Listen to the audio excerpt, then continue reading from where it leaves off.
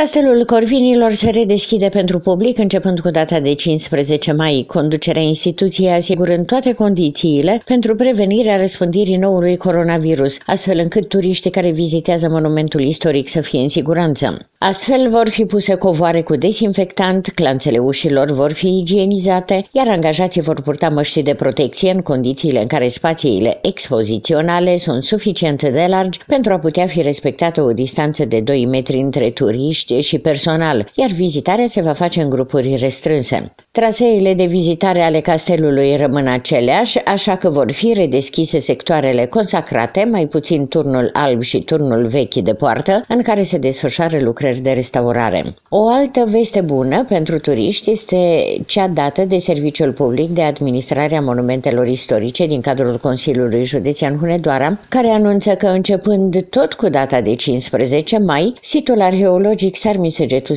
va fi redeschis pentru vizitare. Programul de vizitare al cetății dacice de la Sarmisegetu Saregia va fi între orele 9 și 20.